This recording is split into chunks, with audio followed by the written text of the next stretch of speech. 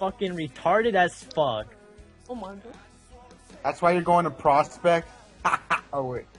You're already in prospect, bitch. Uh, Hamza can't hang me. Fuck, I'm Well, I mean, well, at least you're going prospect. At least you're not going Olympic.